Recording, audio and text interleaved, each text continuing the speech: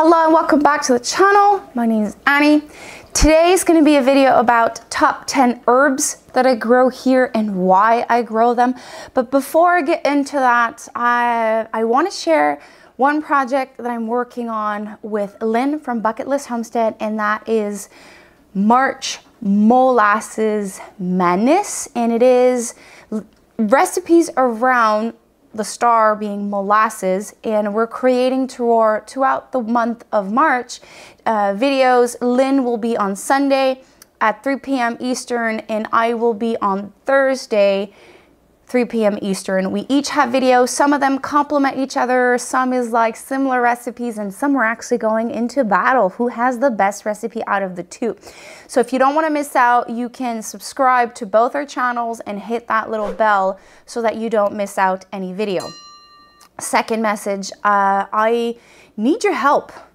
I made a little short video about it, but in case you missed it, I just want to share it again. So LetPot sent me another um, another device to work with and go see that video. I'm gonna put everything in the description below and see if you can help me out uh, with my little problem. Now let's do the top 10 herbs.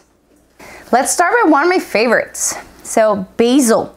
Basil is there's so many different varieties of basil. So there's there's Genovese, there's Italian large leaf, there's Mammoth, which is like a big leaf. You can actually use that as just uh, green in your salad. Uh, I sometimes just use it, put it into my tomato sauce that I can. But one of the main reasons why I grow basil is for the flavored one obviously the colorful ones, the ripple one and all of those are like super fun, super delicious. You can use them as decoration on your pizza, uh, pesto. But in me, it's the licorice basil, lemon basil, and cinnamon basil. I dehydrate them and I use them in my tea blends. I companion plant next to tomatoes from what I'm reading, it was a good companion. And every time I have a row of tomatoes, it's either in the bottom of it, I grow lettuce or basil because the canopy of the tomato plant is creating a shadow less heated area. So as the tomato plant grows, uh, the basil reaches its maturity, but then the tomato goes surpassed it and then the canopy that is created, I don't have basil going right away from seed, so I can let the plant bush out and have a lot from just, I think I do three, four seedlings per bunch, and I just plant uh, like one row of that next to my tomatoes, and I never lack basil. I actually sometimes have too much, so I dehydrate it, and when it's green basil, I just dehydrate it and put it for later on during the year, but I love doing fresh leaves of basil on my pizza. Collecting the seeds of basil is super easy. It is an annual. As soon as the basil goes to seed, there's gonna be like beautiful flowers. I actually leave some of my basil plant go to flowers because it attracts pollinators. And it does attract a little bit of aphids, so it does become like a sacrificial plant, but I have more aphids on my chamomile that I have on my basil. Again, I read this online. I don't know if it's true. I might test out this theory. It repels mosquitoes. So I did say this in my top 10 flowers that chamomile repels mosquitoes. So I might, I might plant close by as ornamental. I do have one that's considered an ornamental basil.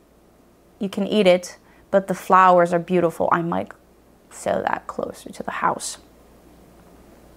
Number two, chives. So there's two types of chives I grow here. One is garlic, one is regular.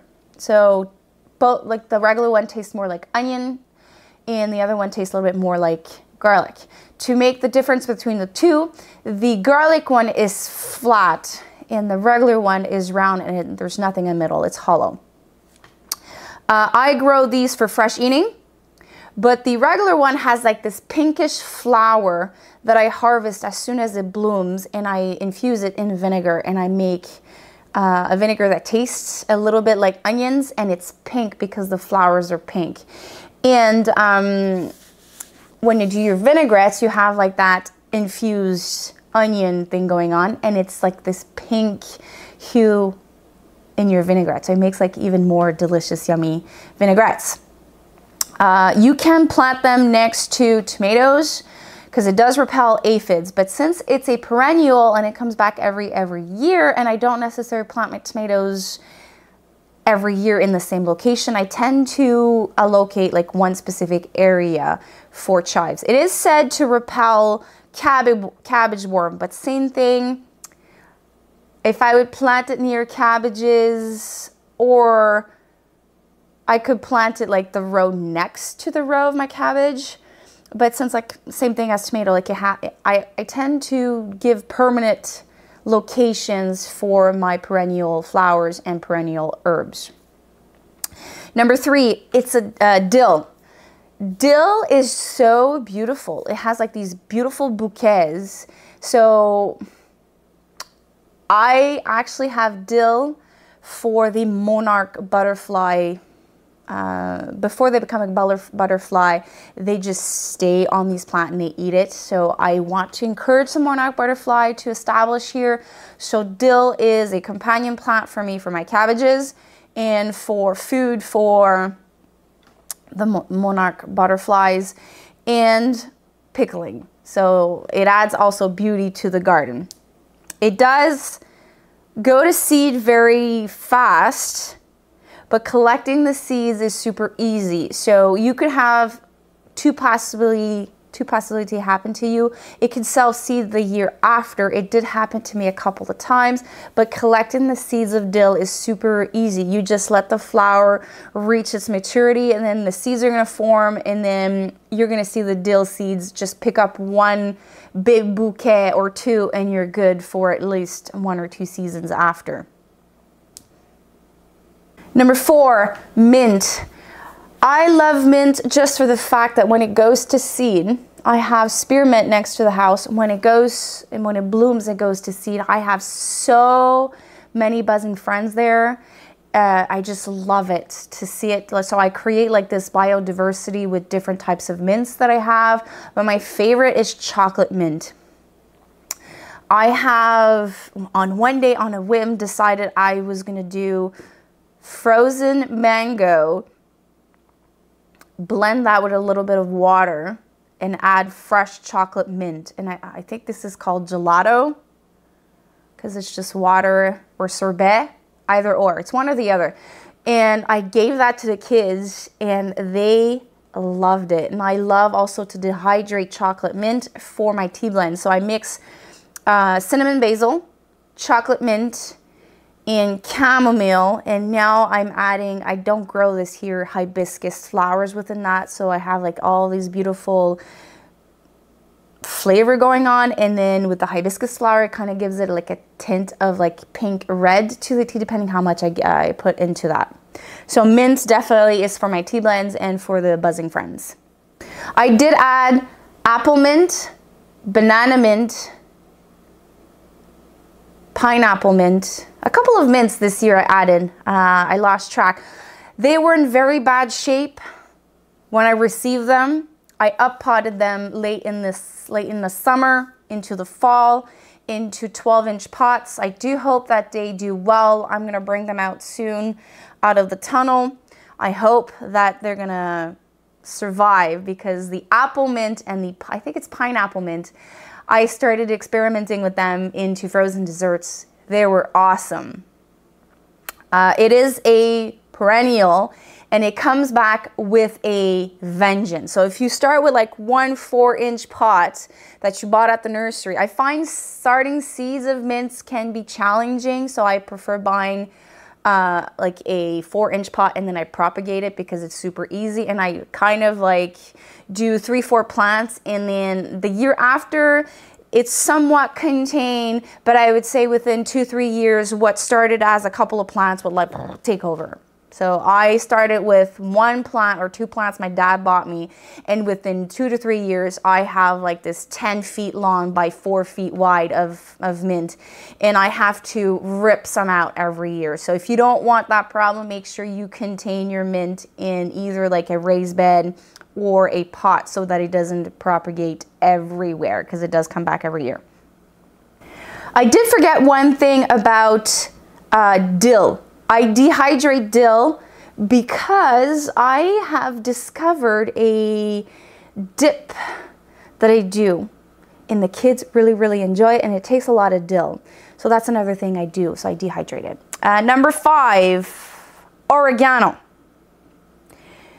It is a perennial. It comes back every every uh, every year, and uh, same thing as mint. Not as much as mint, but it does like get bigger. So I have at the end of the year, I remove at least 50% of the plant and I dehydrate it for any meal that I need oregano. So pasta, uh, what else do I use oregano? Some of my dips that I do, uh, sorry, not dips, uh, my pizza that I do, my pizza sauce I do require oregano. So there's different like Italian dish that I use. Also some Greek, uh, like the Greek potatoes that I do uh, in the oven. So it's really a culinary herb.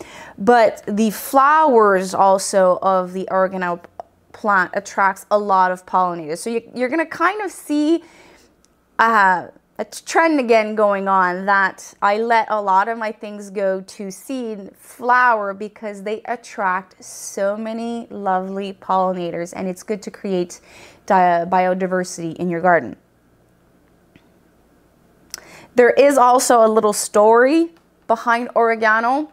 Uh, the like, I don't use that much so basically it's mainly for the pollinators. But there was one year that we raised turkeys here and one of the turkeys was the head was just big enough to go through the fence of my garden. So he had like maybe like this and the turkey would go through the fence and eat my oregano and left it I think there was like one third of the bush left because like he loved oregano. So we nicknamed that turkey oregano. So I kind of feel bad to remove that plant even though it like collects a lot of space in my garden because it does remind me of one of the turkeys we had. I was so sad that I couldn't keep him. He was a great turkey, but like I can't keep uh, turkeys here. So it was mainly for uh, why we raise turkey was for the meat. So the kids were very sad because it was fun watching him. Number six, rosemary. Rosemary is a new herb for me. It is a perennial, but I kind of have a hard time getting it to establish from seed and to come back. So last year I've purchased a plant, uh, rosemary, and I'm hoping to do a lot of clippings from it to propagate it and to have like a good thing going on because a lot of my hair products that I do uh, is based with rosemary, either fresh or dehydrated. And I also start using it as culinary herbs. So I really hope that the plant I bought last year will survive because for me, it is very hard to start it from seeds and it kind of has a hard time to overwinter. So I have to do a little bit research about that. But I really want to establish a good patch of rosemary because it is said that it repels Japanese beetles. I do have a lot of Japanese beetle and every year I go to war with them. I go with a little bucket of soapy water and I just tap on, on my plants where I see them. And I go multiple times a day. As soon as I see my first one, uh, I just remove them and I've been kind of like controlling the population here and I do have sacrificial plants uh, for Japanese beetle, which is my raspberries. So I am, I have a hedge of raspberry. The first row that I have, it's sacrificial. They love those plants. So they, I find them mainly, I would say 90% on those plants. So it's like pretty easy. But last year I did find them in my garden. So if I can add rosemary plants in uh, some of my raised beds in front, uh, like just right in front of the raised beds. So if ever like they bush out, the first feet of my um, of my garden beds, I don't use them, uh, my raised beds, because like where the sun hits or it's not like ideal. So usually I either put uh, basil there, nasturtium, or flowers. But since I have a lot of Japanese beetles that come, I put that there so it could repel it. So this is something I'm going to try this year because they are a problem. Number seven, this is another favorite of mine, recent, three, this will be the third year. Sadly, I can't grow it from seeds. I haven't found it. It is pineapple sage. I love pineapple sage. And there's also a melon version I discovered last year. And I'm discovering a lot uh, of different sage. And I did, they are perennials, they come back. I did buy a very, very sick looking plant last year that was tricolor. And I love the, the patterns on it. So I do hope that one overwinters. It attracts, when they go to flower, it attracts hummingbirds and I would love to have hummingbirds because it reminds me of a trip of me and my husband um, and I love watching them around the house so this is like one of the reasons I let pineapple sage go to seed because it attracts a lot of, of uh, buzzing friends that I want like butterflies also. Uh, it is an annual for us. Certain areas of the world, it is considered a perennial, but not here. I dehydrate them for tea blends because uh, I want to add it because it helps to relax, to wind down, to stop the noise. So I want to include it into my tea blends. It is also a cut flower. It says the flower is red. It is beautiful. I have not tried herbs as cut flowers. So if I if I have enough, because they're easy to propagate. So what I do is I go buy one or two plants that are like really bushed out. And then once they start to get bigger, bigger, bigger, bigger, I cut it and I make baby plants. And then I have like a lot of that. Or I go to nurseries when everything goes for a dollar. And last year I was lucky enough to find more plants. And um, I was able to have a lot of pineapple sage. It does have a pineapple smell, so it is very fragrant.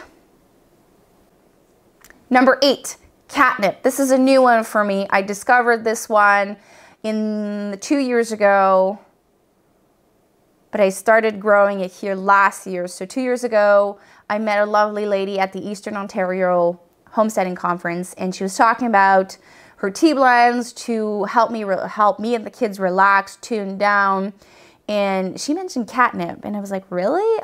Like I wouldn't think the catnip would be other than for cats. But then um, she talked to me about like it promotes rest, like to tune down before bed. So I'm like, hmm, I have to do that. So last year I started a couple of seeds. It is said to be perennial, but I don't know. So I am starting again seeds this year to make sure that I'm able to have enough to dehydrate for my tea blends. So you can actually use it as a companion for cukes, tomatoes, and cabbages, uh, squash bugs. It says to repels aphids and squash bugs. This is a new one for me. I have a lot of squash bugs. I'm in zone five, so zone five and up, they have a lot of squash bugs. So I'm gonna try to maybe grow catnip as a sacrificial plant near. Number nine, chamomile. I did talk about this in my top 10 flowers, but I find that it is also an herb. So whatever it, whatever it is for you, for me is both. So chamomile is an annual, but it does self-seed. It's easy to collect the seeds, so you can just, you let the flower what it's supposed to do. And at the end of the season, some of the fleds are like, some of the heads, the white part petals are done and they, they dry out. And then you're left with like this yellow conish and those are the seeds. And you can just sprinkle them at the end of the season and most of them will come back. So the I've been doing this every year. In the, in the spring, I have like a surprise of like hundreds of seedlings and I just dig them up and I put them in cell trays. So last year I took a bunch and I had a 50 cell tray because it's 50 cell tray. It is the, the little hole is bigger and I had 50 and I had some everywhere and I relocate them near my onions. They're very good near onions. They're very good companion plant. Uh, from what I've read, it's supposed to give a better flavor to the onions. It attracts the aphids. So it is also a sacrificial herb for me, but it's really for teas. Like I love chamomile tea mixed with other. So it's a trap crop it's beautiful flower. It attracts the pollinators. It's like tea. That's, so it's a powerhouse for me, chamomile. The last one, thyme. I have two types of thyme here, actually three now. One is the carpet version, which is like a cover crop, like a carpet going on. Uh, I was gifted some seeds last year and I am using that carpet as a ground cover for I think my haskaps, so that I don't have that much to um, weeds to remove. So I think I'm going to do a lot of carpet style rogue like ground cover. Thyme is going to be one of them because it does attract a lot of like the flower attracts a lot of pollinators. So that's one of the reasons why I grow this particular type of thyme. And I was able to find more seeds. So I am definitely growing a lot of that for my perennial, uh, sorry, my bush berries. All of my bush berries, I'm hoping to have like some type of carpet thing going on, like sweet Alyssum but that's an annual. But the thyme would come back year after year after year. So it's going to attract all the insects that you need and you won't have to remove any weeds. I also have the regular thyme.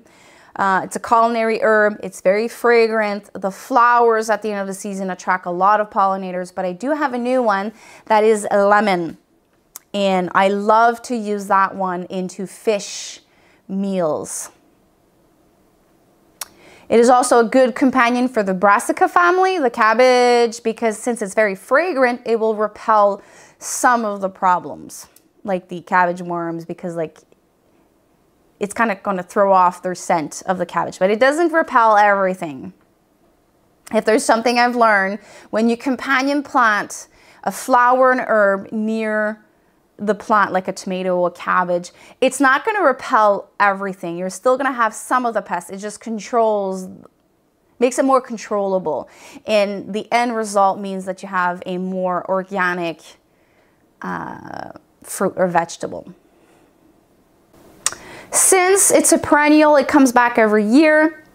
This is similar to mint. You start with one plant, and it bushes out. So you need to control that plant. So once in a while, I reduce the plant a lot, and I there's years that I dehydrate a lot. I do find dehydrating thyme and using thyme when dehy dehydrated is a bit labor intensive. I did find a trick last year, a little tool that you just pass it to like a sieve. You just pass it through it and it's gonna make your life easier. I will try this this year when I dehydrate it. Um, for culinary purposes. Like thyme goes on my pizzas, in uh, my soups. Thyme here is very, very popular, but I end up buying a pound of thyme at least once a year because of that time consuming. But if that little trick, I already have the sieve, if that trick makes it super easy for me, I'm just gonna use like a rope and dehydrate it. And at the end of the season, just use that to help me out. There's two, two, three tricks I found to make my life easier. I, I will definitely try it this year. I do have somewhat good results starting thyme from seeds, but I find it easier just to buy a mother plant and you can propagate it. So I did buy a lemon thyme and I had so much fun propagating it. And now I actually have one inside the house because I'm not sure where I planted my lime thyme last year. so I kept one of the clippings and I will make a new, uh, new place for it um, so that I can come back with a vengeance every year because I no longer have dehydrated lemon thyme. I only had a little. So there you have it. That is my top 10 herbs. I do grow a little bit more. Like I said, like the pineapple sage, I have other types of sage. This year I'm adding clary sage. There's so much that I have here, but those are the ones that come back year after year that I really enjoy. And I am also adding for medicinal purposes, but I'm since I'm such a novice at med, like medicinal, like uh, Mullein, I'm adding it this year, but like I have no knowledge of it. So definitely I will make like videos, updated versions of this one. So I thank you for passing by the homestead and I hope you have a wonderful day. Take care. Bye.